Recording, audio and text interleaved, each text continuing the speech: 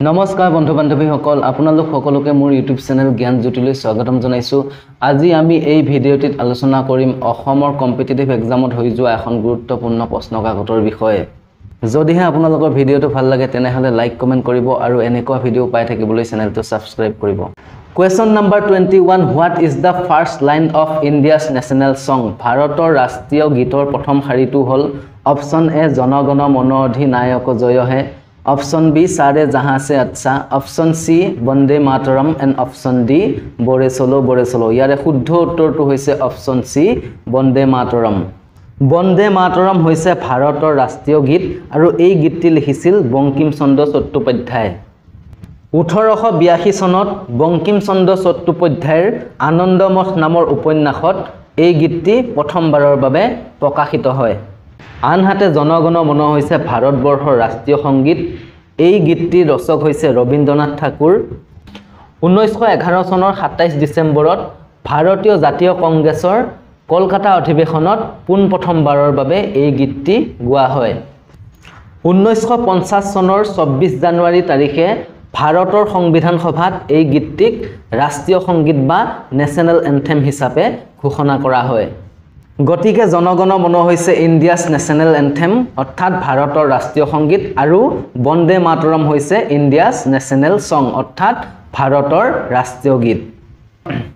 Question number twenty two which of the following languages is not recognised in the Indian national constitution তলত দিয়া কোনটো ভাষা ভাৰতীয় সংবিধানৰ দ্বাৰা স্বীকৃত নহয়?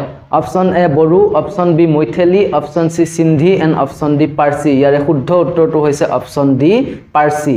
ভাৰতীয় সংবিধানৰ দ্বাৰা স্বীকৃতিপ্ৰাপ্ত বাইছটা ভাষা হৈছে আছামিজ বেংগালী গুজৰাটী হিন্দী কানাডা কাশ্মীৰী কনকানী মালায়ালম মণিপুৰী মাৰাঠী নেপালী উৰিয়া পাঞ্জাবী সংস্কৃত সিন্ধি তামিল তেলেগু উৰ্দু বড়ো সান্থালী মৈথেলী আৰু degree.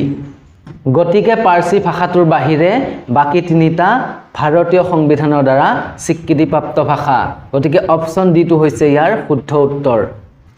Question number twenty three in which of the following cities is the golden temple present তলত দিয়া কোনখন চহৰত স্বৰ্ণ মন্দিৰ অৱস্থিত?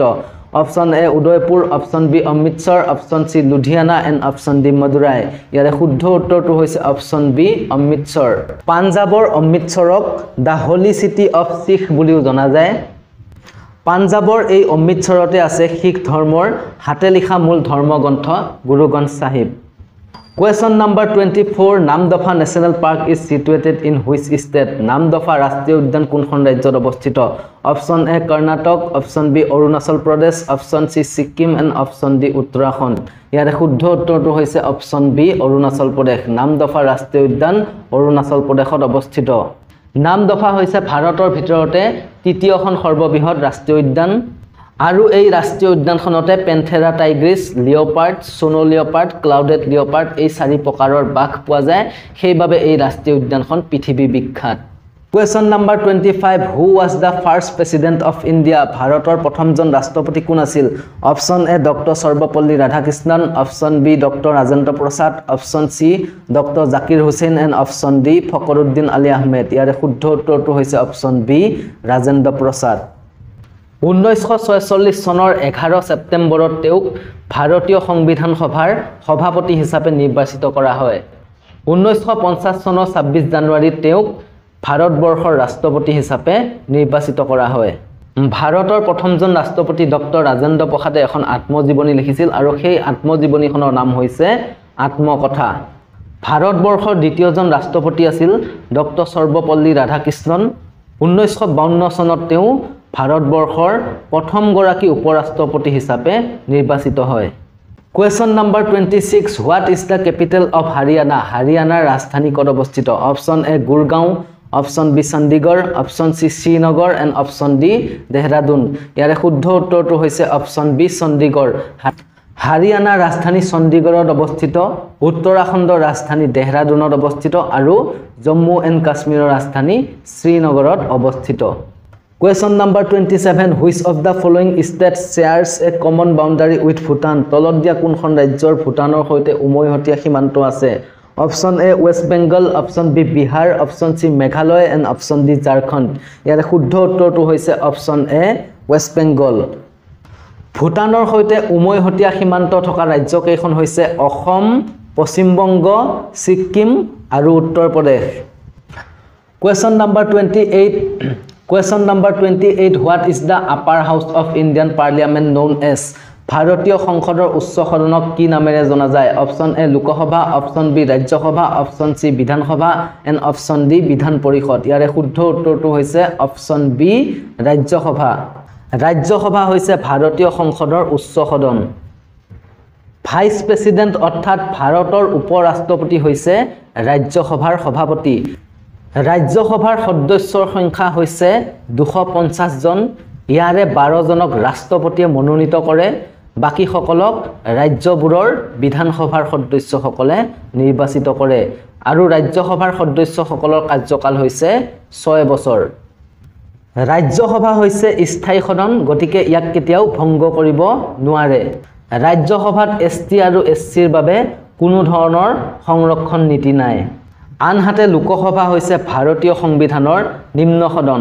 লোকসভাৰ সদস্যসকলক ভাৰতীয় ভোটাৰে পোনপটীয়াকৈ নিৰ্বাচিত কৰে।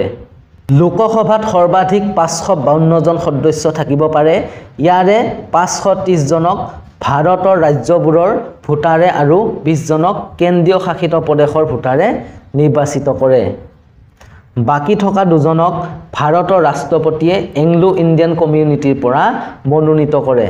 Question number twenty nine which of the following is not a permanent member of the United Nations তলত দিয়া কোনখন ৰাষ্ট্ৰ ৰাষ্ট্ৰসংঘৰ স্থায়ী সদস্য নহয়? Option A China option B Japan option C France and option D Russia ইয়াৰে শুদ্ধ উত্তৰটো হৈছে অপশ্যন বি জাপান দ্বিতীয় বিশ্বযুদ্ধৰ পাছতেই ঊনৈছশ পঞ্চল্লিছ চনৰ চৌব্বিছ অক্টোবৰত ৰাষ্ট্ৰসংঘ অৰ্থাৎ ইউনাইটেড নেশ্যনৰ প্ৰতিষ্ঠা কৰা হয়।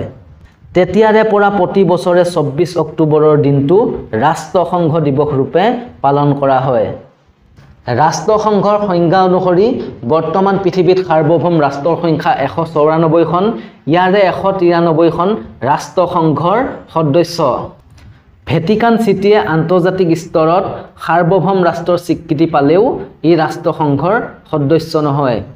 ৰাষ্ট্ৰসংঘৰ পাঁচখন স্থায়ী সদস্য ৰাষ্ট্ৰ হৈছে আমেৰিকা যুক্তৰাষ্ট্ৰ ৰাছিয়া ইংলেণ্ড ফ্ৰান্স আৰু China. Question number thirty where are the headquarters of UNICEF situated ইউনিচেফৰ মুখ্য কাৰ্যালয় ক'ত অৱস্থিত? Option A Geneva option B New York option C Washington D C and option D Paris ইয়াৰে শুদ্ধ উত্তৰটো হৈছে অপশ্যন বি নিউয়ৰ্ক ইউনিচেফৰ মুখ্য কাৰ্যালয় নিউয়ৰ্কত অৱস্থিত। ইউনিচেফৰ ফুল ফৰ্মটো হৈছে United Nations International Children's Emergency Fund. Question number thirty one who wrote the book man eaters of Kumaon man eaters of Kumaon কিতাপখন কোনে লিখিছিল? Option A R K Narayan option B Rudyard Kipling option C Salman Rushdie and option D Jim Corbett. ইয়াৰে শুদ্ধ উত্তৰটো হৈছে option D Jim Corbett. Man eaters of Kumaon কিতাপখন Jim কৰবেটে লিখিছিল। Question number thirty two which of the following state capitals is connected by railway তলত দিয়া কোনখন ৰাজধানী ৰেলৱেৰ সংযোজিত? Option A Imphal option B Agartala option C Kohima and option D Aizawl ইয়াৰে শুদ্ধ উত্তৰটো হৈছে option B Agartala question number thirty three what is the largest mountain range in the world পৃথিৱীৰ ভিতৰত সকলোতকৈ ডাঙৰ পৰ্বতমালা কোনটো? Option A the Himalaya option B the Alps option C the Andes and option D the Rocky mountains. ইয়াৰে শুদ্ধ উত্তৰটো হ'ব অপশ্যন চি দ্য এণ্ডেছ পৃথিৱীৰ ভিতৰত সকলোতকৈ ডাঙৰ পৰ্বতমালাটো হৈছে এণ্ডিছ আৰু এই এণ্ডিছ পৰ্বতমালাটো ছাউথ আমেৰিকাত অৱস্থিত। Question number thirty four what is the largest creature on the earth পৃথিৱীৰ ভিতৰত আটাইতকৈ ডাঙৰ জীৱ কি? Option A giraffe option B elephant option C gorilla and option D blue whale ইয়াৰে শুদ্ধ উত্তৰটো হৈছে অপশ্যন ডি ব্লু হুৱেল পৃথিৱীৰ ভিতৰত আটাইতকৈ ডাঙৰ জীৱ হৈছে নীলাতিমি question number thirty five Makalu one is a mountain peak of Makalu one কাৰ পৰ্বত শৃংগ option A Himalaya. Option B Karakoram. Option C আৰাবালি। And option D Satpura. ইয়াৰে শুদ্ধ উত্তৰটো হৈছে option A Himalaya. Makalu one হিমালয়ৰ পৰ্বত শৃংগ যদিহে আপোনালোকৰ ভিডিঅ'টো ভাল লাগিল তেনেহ'লে লাইক কমেণ্ট শ্বেয়াৰ কৰিব আৰু এনেকুৱা ধৰণৰ ভিডিঅ' পাই থাকিবলৈ চেনেলটো ছাবস্ক্ৰাইব কৰিব।